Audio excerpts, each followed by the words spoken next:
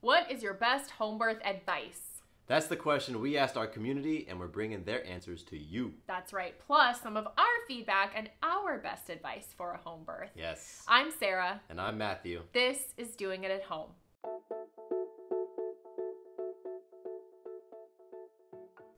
Hey everyone, welcome back to the Doing It at Home podcast. I'm Sarah Bibbins, and next to me is my husband, partner, friend, Matthew Bibbins. What's up, love? I was wondering, like, what else you were gonna. Do. I don't know. Maybe I could have thrown one more thing in there, but I just Friend. friend. You are my friend. You Cool. are. We were friends first for a long minute before we became Yeah, for a couple years. lovers. A couple years before you you uh, you fell for me Yes, indeed. hard. Yes, we know. It's Mhm. another another podcast. How are you? Ah, I'm awesome. I feel like I'm on a um like a movie set. We got this big old bright light It is in our face. bright. It's bright because it's so far away because we're doing a Facebook Live at the same time. We so are. we wanted to be able to show off our our office setup. And no, I feel great. We're doing something new today. We got a cool topic that is um, collab with people in our Facebook community. Yes. So I, that's what I'm, I'm excited. It's gonna be great. about it. But yes, the, the light is very bright. Blinded by the light. I like when I close my eyes, I see the rim. It's kind of like The Ring, the movie. Oh, I was thinking about that movie last week. Creepy. Can't can't do it with those. That's your area. But anyways, yeah. So we are live in our Facebook group right now. So perk of being in our private Facebook group, you get to be a part of things like this and watch and or listen to podcasts before they get published on all the podcast platforms, and you can engage with us as well, Yes. ask questions, comment, and then we are, like you said, using feedback from group members in today's episode, which is really cool too. We've put it out there into the group to ask them questions and of course with their permission share their feedback and so they can kind of contribute and be a part of the show too which is so neat so I think the group, if you do one thing, if you do one action during or after listening to this, go join the Facebook group. yes It's the Doing It at Home Birth Group, and Mhm. we have fun in there. There's really tremendous conversations going on. It, it is a it is a support, Support. community. Yeah, like folks go in there and they ask a question, and you get dozens of responses quickly, and it's fun to for us to see that. And then we also love engaging with you all. I love dropping in there, you know, dropping comments in different threads, and we post our videos, and it's just a lot of it's your opportunity to to interact with us but but even greater than that is is to interact with a community of very like-minded people and that's really what it is so if you do one thing go join the facebook group if you do two things yeah what if you want to do two things You what if you're an wanna do two things. overachiever join the facebook group and sign up for our email list. You can do that on our website diahpodcast.com scroll to the bottom and you'll see the email sign up. And that's where we're going to be just sharing all sorts of great stuff announcing different things sharing with you different opportunities and all sorts of cool things. You can be on in the know. Yes. On the know in the know. On the- like for example we just shared our black friday sale Mhm. in our store. So we revamped our store. Sarah put It's some so new cool. designs in there, new merch, all different things like baby onesies, which is a new thing we put in mugs more there. mugs, And then we just did a but- pretty pretty legit sale, I would say. And so absolutely folks in the email list learn about that first. Yes. So, So, yeah. all those all those links are in the show notes whenever you listen. You know, you can find those as well from our Instagram account, DIAH podcast. You know, you can link out to all of those things. And what we're going to talk about today is some of the best home birth advice that we've collected, like we said, from members of our community. And we're going to share those. We're going to share some of our thoughts and some of our personal advice as well. But before we do that. I want to give a shout out to a review from a listener. awesome. This comes to us from CJ. was this on Apple Podcasts? It was, yes. Cool. Yes. It says, I listened to the first several episodes until it became clear that, unfortunately, we were not going to be able to have a home birth. Nevertheless, I really benefited from exploring the topic, and this podcast was a big part of my exploration. I also think that knowing our priorities helped us choose a good hospital and doctor for our birth, and everything went well. Sarah and Matthew are funny, honest, and always bring a positive view to everything. Keep up the great work. That's from CJ. That's awesome. Oh, so cool, CJ. CJ, you rock. Not only do I appreciate the affirmation, but just you sharing part of your experience as well that everything went well and that through your exploration, even if home birth wasn't the final destination, that you felt more confident and more informed in the choices you did make for the hospital, for your care provider. Oh, there's there's nothing more I could ever ask for in terms of why we've done this whole thing. Yeah, that's awesome. And and CJ, thank you again for listening to the podcast first and foremost, uh, but also taking the time to leave the review. We know it takes time, you know, and and that's time that you could have been doing anything else, but you decided to just drop that note in there. So we appreciate you so much, CJ. Thank you, thank you, thank you.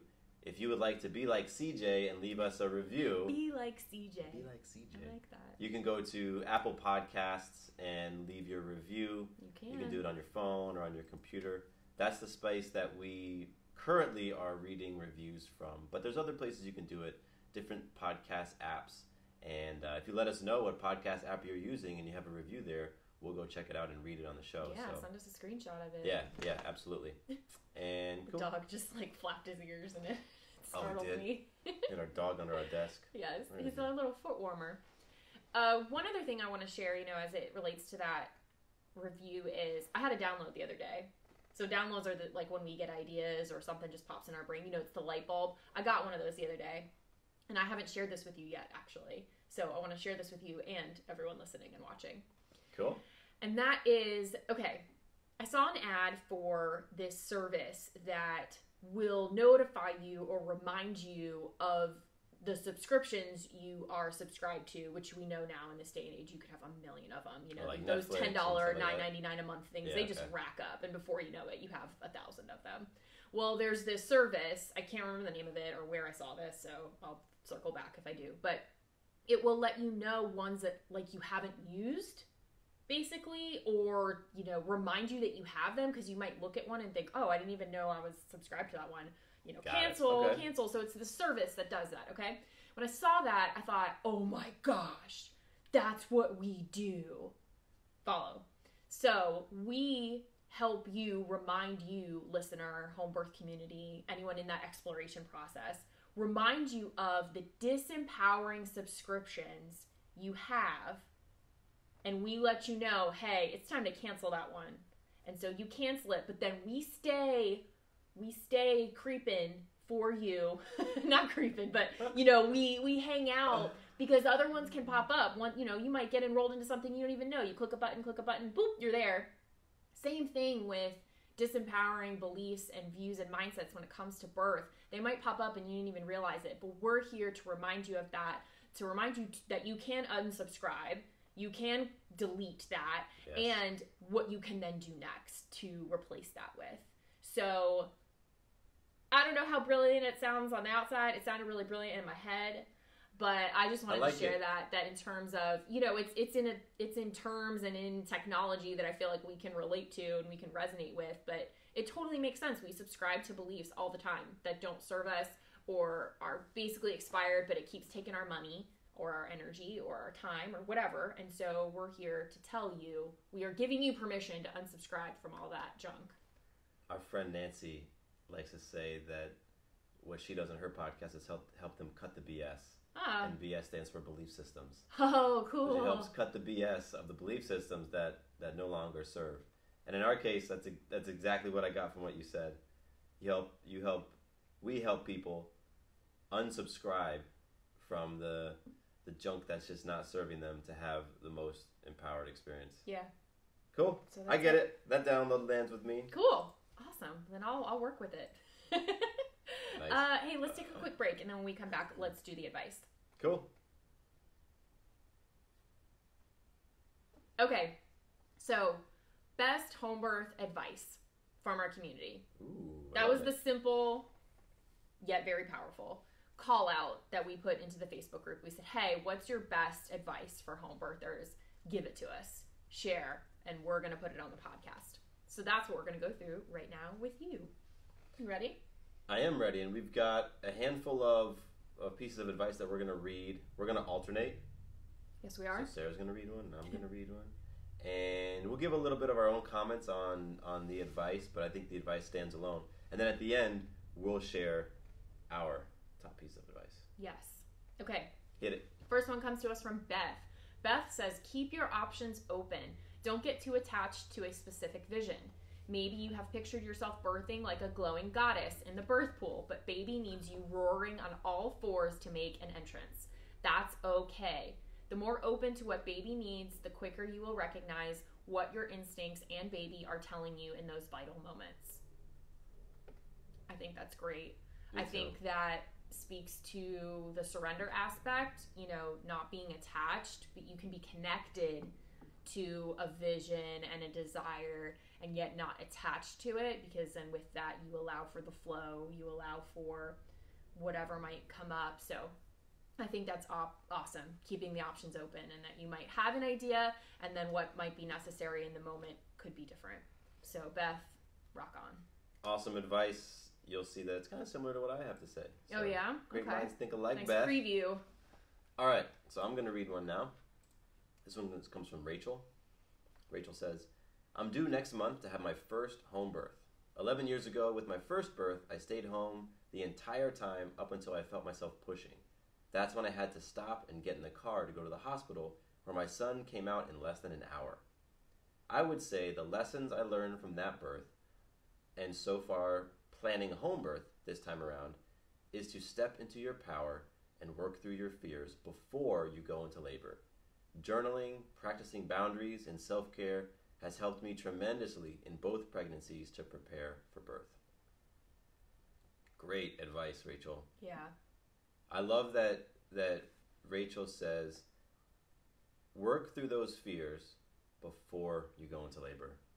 Because there's so many things that come up and, you know, once the contraction starts, it's not really the time to start thinking about for the first time some of those fears that you didn't want to address.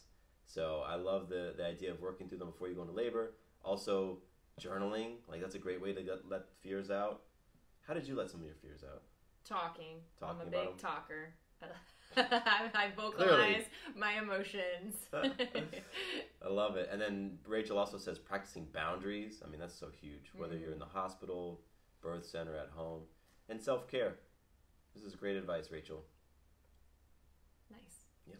Next is Natasha. Natasha says, have a warm soup cooking on the stove or in a slow cooker for your first meal after giving birth. Yes. It's such a soothing, hearty meal and helps to replenish lost nutrients. Also, if you're fortunate enough to have family, friends, neighbors nearby, consider asking for someone to organize a meal train. I used mealtrain.com recently to organize two for my neighbors. It was the best gift we could have asked for after giving birth. It allowed me to relax in bed and not move around much at all while neighbors brought us meals every night for about a week. Natasha, I love this advice. I, I love it. Thinking about the food Yeah. because that that is me. I'm always thinking about when I'm getting my next meal. Well, meal. guess what?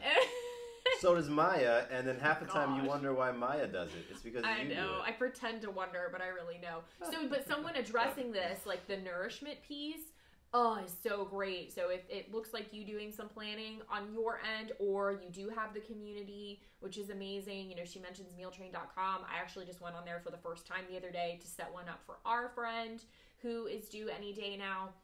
And that's such a, a blessing to have, like, to not have to worry about food when you're just in that space and you're in the little oxytocin bubble to have meals brought to you it's just oh so amazing so this is something that you know might seem a little bit out of the box like best home birth advice yet i think this is gold So two things. First of all, soup. I think that's awesome as well. Warm soup, hearty soup. That's what we had. That's what you had.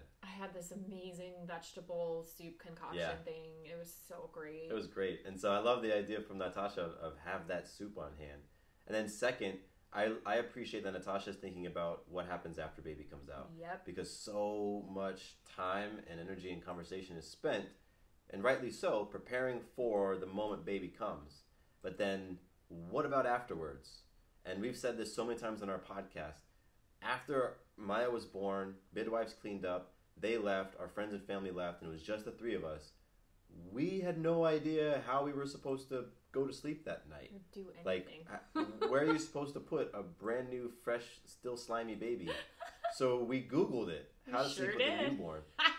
because so many so many things we were focusing on all the way up until baby comes out and there was a lot of stuff that we just didn't realize like i didn't even think about birthing the placenta i didn't think about what goes on in in in the birthing person's abdomen area that has to get pushed out i, I didn't know any of that stuff and i had no idea about how to sleep with a newborn so i appreciate natasha for giving advice that has to do with after baby comes out because Yes.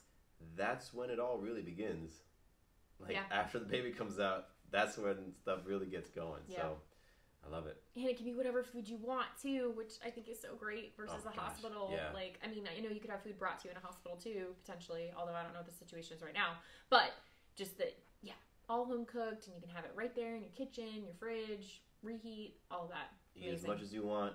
And also with Meal Train, we didn't use mealtrain.com, but no, we, not officially. We just had a friend who set it had up. coordinated it. Yeah, But I- so I, saw you setting up Meal Train through the through the website, and it just looked awesome. yeah. Cool. Thanks, Natasha. Mm-hmm. All right. This next one comes from Cassandra.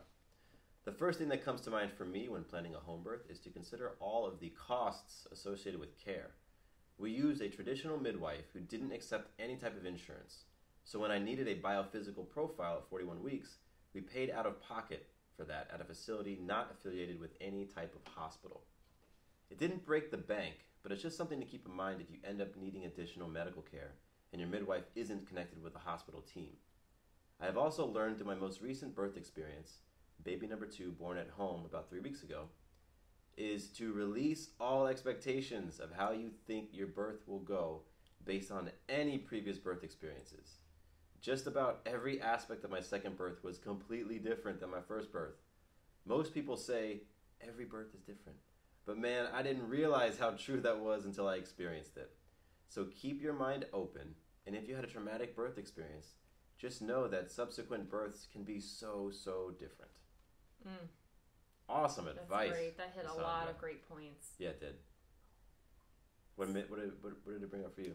Well, I think the cost is, is definitely there. That's one of the biggest things that I think comes up in the community. You know, questions around costs once you kind of address or look at fears and doubts or feelings about how other people are going to perceive your choice. It's like, what's it going to cost? What does that look like? What are the contingency plans or what do we need to prepare ahead of time? So, yeah, just considering it. And like Cassandra said, or if it's Cassandra, Cassandra, Cassandra, if, you know, like she said, didn't break the bank necessarily. For some, it might. So, just exploring what your options are, who the care providers are, what their policies are. You know, if they don't accept insurance, then what the out of pocket costs look like. Is are there payment plans? Is there sliding scale? Is there bartering of some kind that you can do? You know, just getting creative with what your options are.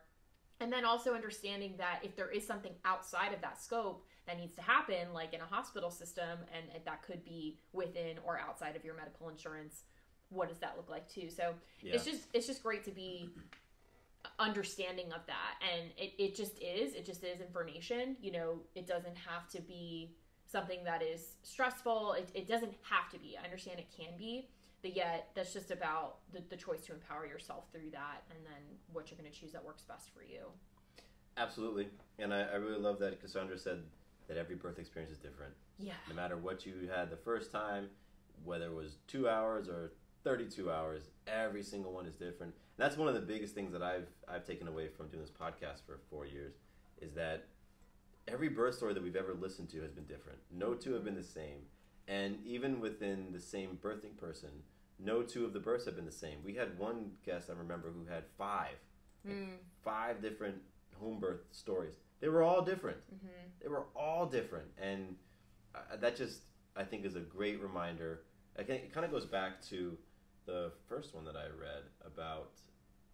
Uh, yes, with Rachel talking about. No, wait, was yours? Was the one you said before that? Yes, Beth. Don't get too attached to a specific vision. yeah Like if something happens in one way and you think that that's how it's going to be the next time, it may not. yeah It probably won't be. So just allowing whatever is supposed to happen to happen. Okay, bringing it on home here with Monica. Monica says, prepare, prepare, prepare. And then Monica did a list for us. So she, Ooh, she put it in numbers. I love it. One, physically with walking, stretching, J breathing, which she says is that deep, deep belly breathing. I'm guessing because it kind of formulates a J as you do that, like when you press out your belly and then back up to the top, kind of creates a J. Eating well. Number two, meditation, positive thinking, and visualization to reduce stress, connect with your baby, and focus on the type of birth you want. Three, watch, listen to birth podcasts or videos. Four, start collecting comfort items for your birth kit oils, candles, playlists, affirmations. And five, create comfort items for postpartum, self care items, organize meal trains. Ooh, good luck.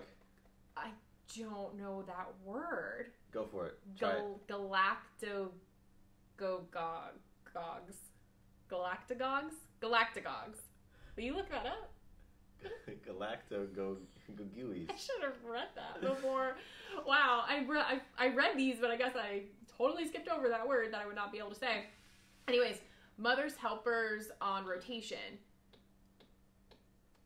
Oh, they help with milk production. oh okay How do you say so that? word? something that contains those Um, Google it, listener and viewer. We are clearly are not the experts on Galactico Goos. someone right now is listening or watching is like oh those idiots like they don't know what they're saying. It's just a big word. All right, continue with Monica's okay. So advice. things to help with milk production. I will Yes. say that. And it says, even with all the prep, remember that babies will be born on their time. Your job is to let your body relax and feel safe, express your needs, and do so fearlessly. I love prayer and worship above all. Monica, That's that awesome. was amazing. I apologize sincerely that I completely butchered a piece of your advice, and yet it was so comprehensive, so great, hit on so many points from the physical to the emotional and spiritual. There you have it. Monica wrote a little guide for us. Whew. I dig it. Whew. All right, cool. So that's the advice from our amazing community over at the Doing It at Home Birth group. Yes. And I appreciate every single person for submitting. And you know, big thanks to Beth, Rachel, Natasha, Cassandra, and Monica Yes. for just contributing. And Thank you all. I know that it has resonated with folks listening and watching right now, which is tremendous. Mhm. And you want to drop our two cents in there? Yes, let's do it. Two cents. Yeah. I think I have three cents, but Oh, okay. All right. Just had to. Just had to go one more up. I say my advice right now is to identify what your fears or doubts are and have all the conversations around them to address them, to get to the root of them, the core of them. So, if that looks like with your midwife, your care provider, your doula, your partner, your mom, your friends who have birthed as well, you know, just I'm, we said earlier, I'm a big talker, feelings, putting them out there. That's going to be my advice when it comes to home birth. That if you're going down the route of home birth, look at whatever those fears or doubts might be. And for some, it might not be fears, but it could just be whatever the hiccups are. You know, just whatever that could create anything other than what you want to experience or anything that's bringing you down energetically, emotionally, anything that could be a stressor. Just look at those things and employ the people, the support around you to move through them. And as you get more clear on what it is, you're also able to identify the things that you can do to counteract that. And so then once you're clear on that, then you can look at what are the tools, what are the resources, who are the people that I need to access to address this. And so I think just clearing out that space for me is my best home birth advice today. that's awesome. Amazing. What you got, Bibbins? All right. So, my home birth advice is about trusting and surrendering, which has been kind of a theme in, in other advice. And for me, for both of us, really, trusting and surrendering is what faith is all about, right? Being able to, to trust and being able to just let go and surrender. So, I, I look at it as, and my advice is all about trusting and surrendering before the birth experience begins and then trusting and surrendering while you're in the birth experience. So it's about trusting your team that you've put together. It's about trusting your partner who's there to support you, trusting in your preparation, trusting in you know, the self care that you're doing, the breathing work that you're doing, the things that you're reading, the podcast you're listening to, trusting in your plan that you're putting together, trusting in yourself and trusting in your body, and really working on any areas where the trust is a big struggle for you, where you have big, massive doubts. That's an area to really work on. And again, it's been shared before, but you know, having intentions for those different parts of your plan, having a vision, thinking through those things that you want to happen the way you want it to flow, and then here comes a surrender piece, just surrendering it all, because it could go a totally different direction than than the way that you want, and so when the actual physical birth experience is going down, again tapping back into that trust and surrender. Trusting everything that you've done up to that moment to get you ready for that moment.